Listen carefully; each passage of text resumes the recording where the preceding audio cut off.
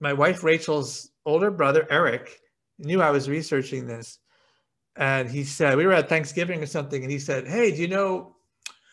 Do you know where they tested the first atomic bomb? And I said, Yeah, of course. Uh, I've been researching it. You know, New Mexico, 1945. And he said, No, man, that's what they want you to believe.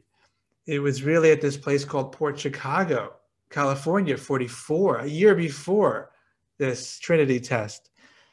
And said, Eric, oh, come on. He, he comes up with these crazy, you know, conspiracy theories. And he does it mostly to drive his dad crazy, which is kind of funny. But in this case, I just, I was intrigued because I couldn't refute it. I didn't know what he was talking about when he said it was at this naval base.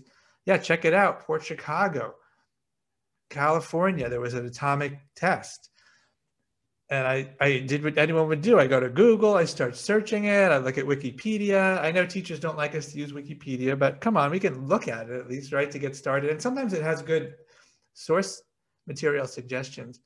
But I was just getting a, a really beginning look at it. Sure enough, massive explosion, July 44, Port Chicago, California, hundreds of sailors killed.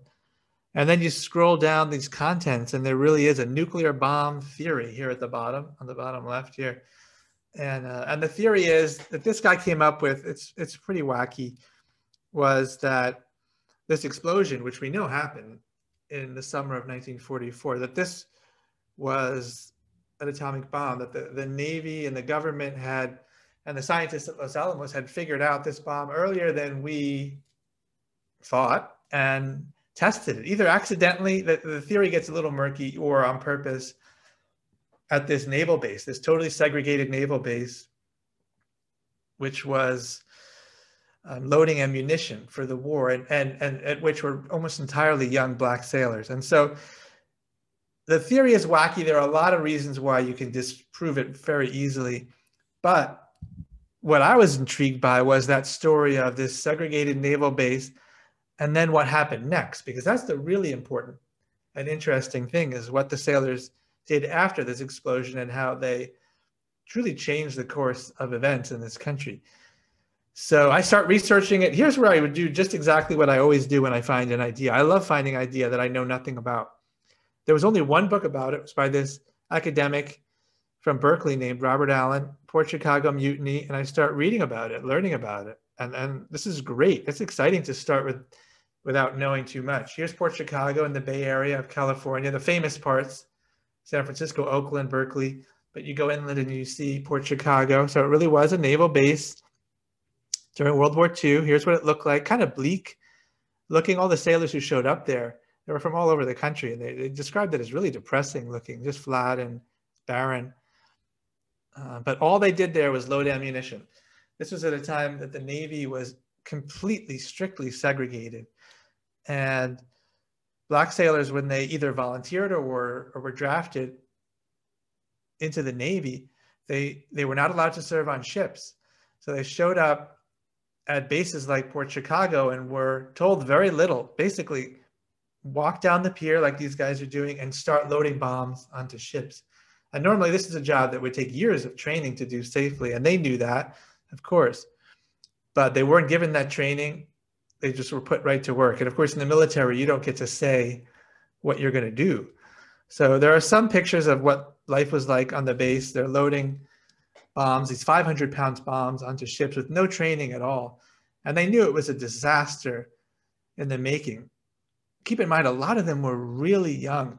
You could volunteer in the Navy at 17 with your parents' permission. A lot of these guys did, which is um, kind of amazing. I mean, they they came from all over the country. It was really a diverse group of people in terms of their background, their education, economic background, and a lot of them felt very patriotic, even though they were living in a country that did not allow them to have equal rights or the rights that were already guaranteed to them in the Constitution. So they show up here. They they know that this is wrong. I mean, they're loading bombs in an unsafe way, and they know that the reason they're doing it is wrong because here we have a government that's talking about how we're, this is a fight for democracy. They don't enjoy democracy in this country. They're not what what people are fighting for are not, these rights that they don't have here in our, our own country. So they know this. It's a very the situation is just wrong on a lot of levels. But really, what they were worried about on a day to day level was the safety more than anything else. And sure enough, in the summer of 44, you don't need a wacky conspiracy theory that one of these ships exploded. We still to this day don't know exactly what happened.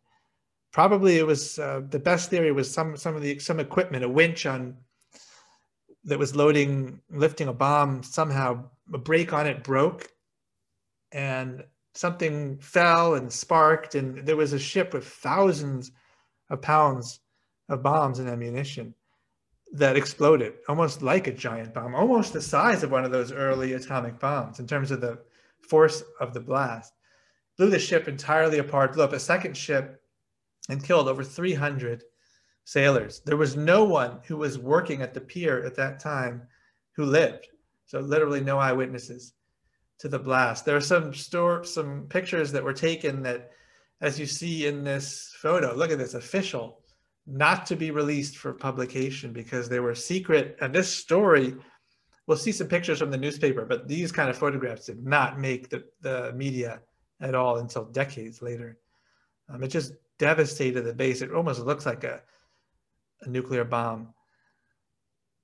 Um, this was the most incredible picture, not because of the level of damage, but because this was a mile away. These were the barracks where a lot of the sailors lived, and they were a mile away, and it was knocked over. They had just well, there were there were shifts that worked around the clock. This the shift of the sailors I mostly talk about in Port Chicago 50 had just gone to bed and just had lights out, but they weren't asleep yet. It was about nine o'clock at night when this explosion took place, and you could see the damage it did to the building. No one was killed out here, but there were a lot of injuries, flying glass, collapsing building.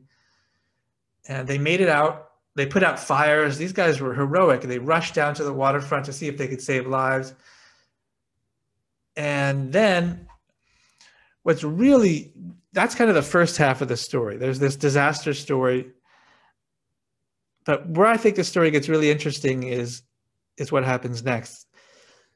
They clean up the base and the, pier is completely destroyed. So they're not going to be working here anymore, but they're taken to another base right in the in the Bay Area, not told anything, nothing. But they know this is another loading base. This is all we do at this base is load ammunition onto ships for the war in the Pacific. So we're going to be put back to work doing the same exact thing in the same way for the same incompetent officers and the officers did outrageous things like raced one division against another to see, you know, had their own little bets about which division could load faster. Just terribly irresponsible things. And so they talked amongst themselves in the barracks, what should we do? And I show this picture of Joe Small because he's sort of, he was the leader informally. He should have been an officer if that, if that avenue had been available to young black men at that time, people would have recognized this guy's officer material. He was just a natural leader. Everyone looked to him to see what he would do. And he was never afraid to speak up to his white officers, which could get you in a lot of trouble. So they turned to Joe and said, what should, what should we do? And can we just really go back to doing this thing that led to this horrible disaster? So many of our friends were just killed that's on the one hand, and then the other, other on the other hand is we're in the military. It's it's World War II. You don't get to decide. They're not going to just let us opt out of this work. And Joe was very clear to everybody. He said, "I'm not going to tell anybody what to do. It's too weighty of a decision, but I'm not going back. I'm going to refuse to load ammunition unless they change the way it's done." And that had a big influence on uh, on some of the guys. And there's a very dramatic story, kind of right in the middle of of my book, where Joe and his division were being marched down to the pier, and they knew if they turned one way, it would just be a normal day of exercises, and if they turned the other way, they'd be going down to the boats to load bombs, and they turned that way, and they stopped almost as if as one. Hundreds of sailors stopped in the road and the same thing happened throughout the day with other groups of, of sailors. And the, the officers got, got furious and they got everyone together on a baseball field and started screaming and shouting. And this general drove up in a Jeep and told them all that if they didn't go back to work right away, they would be court martialed, they would be charged with mutiny. And not only that, but they would be shot. They would be executed if found guilty. And they could assume that they were going to be found guilty. And they had a, a few seconds. And this is just incredible. If you think about how young these guys were, again, a lot of them were teenagers. How do you make a decision like that in a few seconds? But most of them stepped to the side, indicating, yes, I'll go back to work. They were not, they, I mean, they lived in this country. They, they were not expecting a fair trial.